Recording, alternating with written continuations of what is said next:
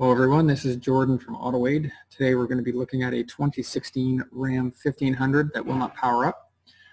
Uh, after getting some customer info, um, we found that the vehicle uh, will not power up, will not crank.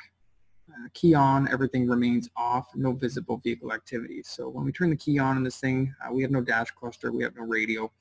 Um, things like interior lights will work, uh, but, but nothing else. So I think what we're going to do next is uh, hook up the scan tool. Now today we're going to be using the WiTech 2, which is Chrysler's factory scan tool. And this is the main home screen um, you come to after you start communicating with the vehicle. Um, and uh, what we have here basically is uh, what they call the topology, uh, which is basically a roadmap for all the modules. So I'm just going to explain uh, what we're looking at here. Each square represents um, a different module, and every line here kind of represents the, uh, the bus that goes to each, each module. Um, this one here is likely going to be your CAN C. Uh, this blue circuit here, um, it's separate from this one. That's going to be your likely your CAN B for all the body modules. Now, uh, each uh, square here, if it's gray, that indicates the vehicle can come with that module, but uh, that is not equipped on this particular vehicle. Um, if the module is blue, that means it is online and communicating. If we have a yellow module, that means that it is online and has code set. And uh, if we have a red module, that means it is built into the vehicle, but it is not communicating what it should be.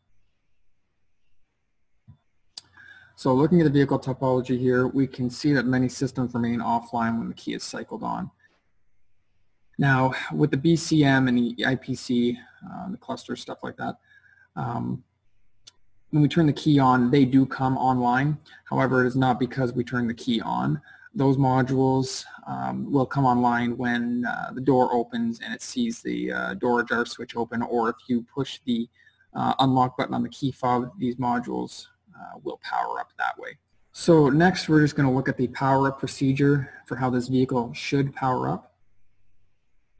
Basically what I did was I just went to the starting circuit that kind of gives you a good view um, generally of how these vehicles are supposed to power up and start. Uh, so we can see here we have the keyless ignition node module. That is the uh, module where you insert the, the key, those little plastic keys you get from, uh, from Chrysler. And looking at the wiring, we can see, um, might be kind of hard to read here, but um, ignition switch position signal.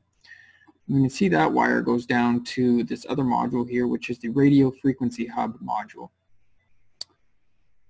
From there, uh, it looks like we have an ignition run start control output to the BCM and from there, we're not really sure from this diagram, so we're going to have to look that up to be exactly sure how this works. So after doing a little bit of digging, I was able to uh, find a description of how this powers up, and I have condensed it on the next slide. So first we have the ignition node module. It sends key position data uh, to the radio frequency hub over a private bus, which is this circuit right here, the ignition switch position signal circuit from the node down to the radio frequency hub.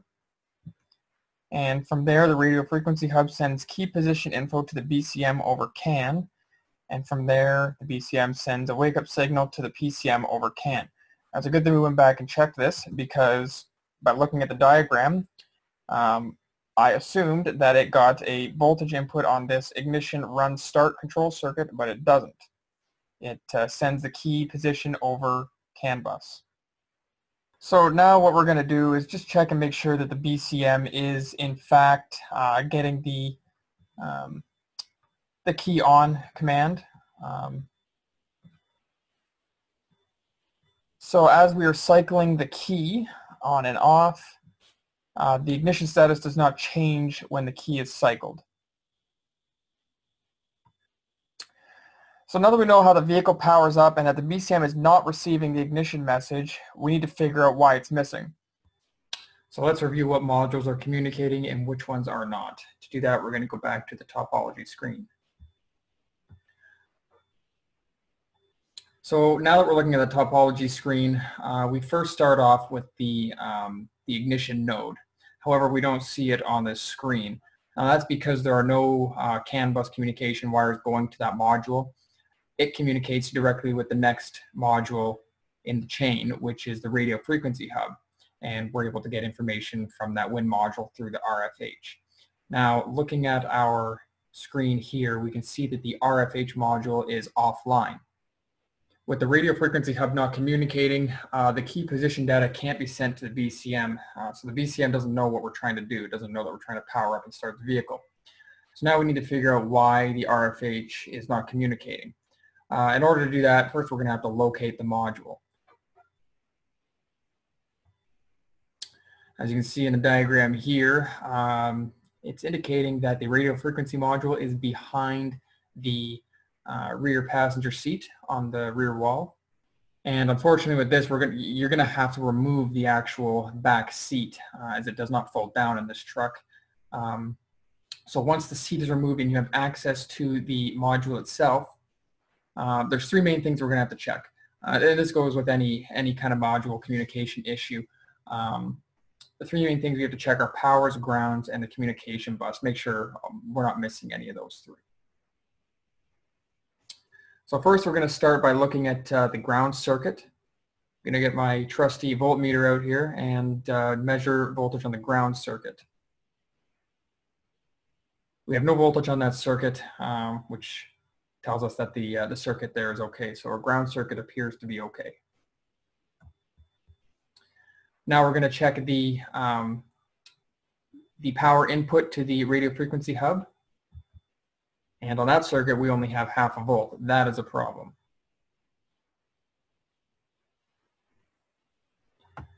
The module needs full 12 volts in order to power up and uh, communicate properly. So what we're going to do now is just to confirm that uh, this will power up uh, with proper power. We're just going to take a fuse jumper wire and uh, hook it up to the to the battery positive and just jumper it to the um, to the battery input on this radio frequency hub and uh, try and start the truck. Lo and behold, with proper battery voltage fed to that module, the truck starts and runs no problem. Um, everything starts communicating again and uh, appears to be the issue um, with this truck was that uh, there was no power going to that radio frequency hub. Now after doing a little bit of digging around and uh, wire tracing, um, I was able to locate an actual issue in the driver's door sill. Um, you lift up the uh, plastic sill plate and there is a big chunk of wiring harness and it's actually in that main uh, red wire there. You could not see an issue. I actually had to physically pull on that wire for it to break and it was corroded inside. Um, so if you're ever dealing with something like this, just be sure to um, thoroughly check the wiring as it doesn't always uh, it doesn't always show corrosion on the outside of the um, on the outside of the coating. So in the end, after repairing the corroded power wire, the vehicle started and ran normally.